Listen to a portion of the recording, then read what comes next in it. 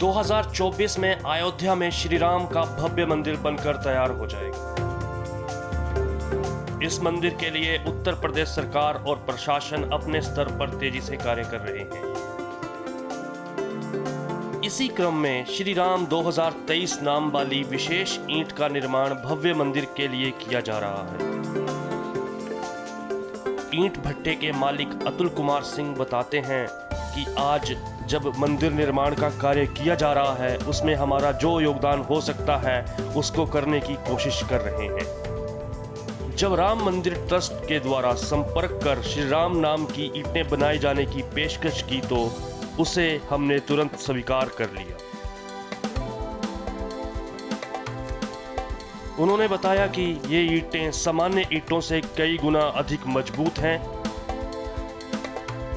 इसके लिए मिट्टी की गुथाई के लिए एक विशेष मशीन मंगाई गई है ताकि ईंटें अधिक से अधिक मज़बूत हो सके।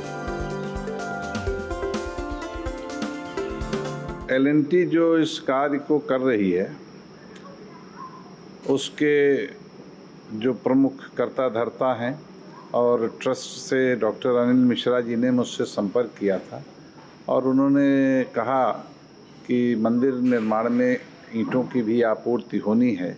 और श्री राम 2023 के नाम से इन ईंटों का निर्माण आप अपने यहाँ करवा दीजिए। राम जन्म भूमि से आर्डर मिला था।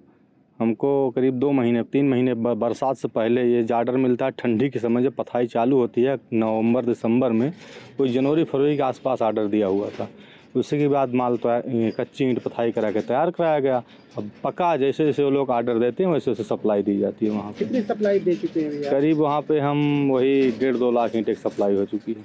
तो अभी आपके पास कितने ईंटें हैं? एक लाख ईंटें होंगे श्री राम के नाम का। अब क्या आर्डर का क्या रूप है? अब वहाँ पे इस समय स्टॉक लगा हुआ है और एक दो भट्टे वाले हैं माल देते रहते हैं। अब जब वहाँ पे जैसे जैसे माल ख़त्म होगा वैसे वैसे आर्डर देते रहेंगे और सप्लाई होती रहेगी।